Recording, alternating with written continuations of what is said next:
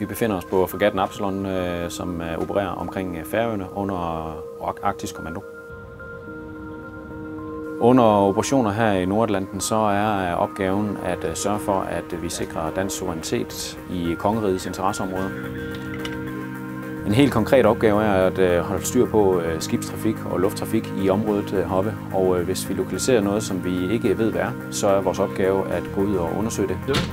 Det kan være alt fra fiskeskibe, det kan være andre skibe, det kan også være skibe fra andre nationer, krigsskibe, statsskibe eller lignende. Nu der har vi fået en øh, opgave fra Arktisk Kommando, som består i at øh, identificere nogle ukendte mål øh, nord for Færøerne. Operationsrummet det er skibets hjerne, kan man sige. Det er her, hvor vi analyserer øh, informationer og øh, tager beslutninger omkring øh, skibets opgaver. Og det gør vi ved så øh, at sende helikopteren ud, eksempelvis som øh, ved hjælp af radar og øh, infrarødt kamera kan, øh, kan detektere og identificere kontakter.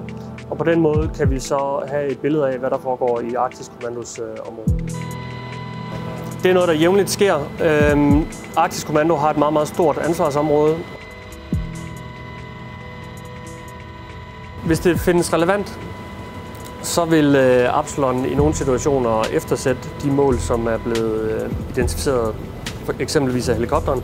Og så kan det være, at vi får til opgave at, at følge øh, skibene, hvis, hvis der er tale om skib.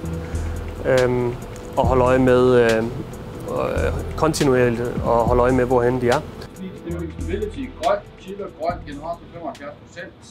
Jeg er kampinformationskaster på Absalon, og min opgave er så at sidde og bruge vores sensor, radar og alt andet, vi har. Øhm, her der har vi jo vores billede over vores øh, skibene rundt om os, og, vores andre øh, kollegaer, der også er her. Og så har vi jo så vores kamera, som vi har her, hvor vi så kan se ham, der lige er kommet ind nu og er i gang med at hente nogle sten, som øh, vi holder øje med og har tjekket op på. Når det er gennemført, så tager helikopteren ind til sin øh, opgave.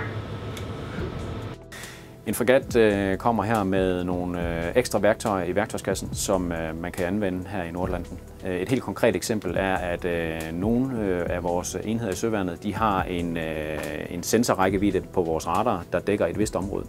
Men for eksempel, hvis man kommer med en fregat, så har vi en sensorrækkevidde, der går længere ud.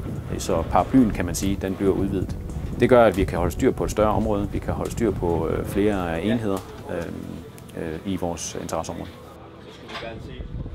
Det er et helt andet miljø at være indsat i, end vi er vant til øh, i andre områder på en fregat. Og øh, der taler vi helt grundlæggende forhold som vind- og vejrforhold, øh, hvor der er nogle helt andre præmisser her i Nordatlanten, end der er for eksempel i øh, Middelhavet eller i øh, området omkring Somalia. Jeg synes helt, helt klart, det er en spændende opgave at løse, også fordi det viser, at øh, hvordan man, man med søværnskapaciteter kan levere en øh, effekt i en opgaveløsning Øh, spredt ud over et bredt spektrum af opgaver, lige fra, øh, fra opgaver øh, i, omkring Somalia, Middelhavet og helt op til Nordatlanten.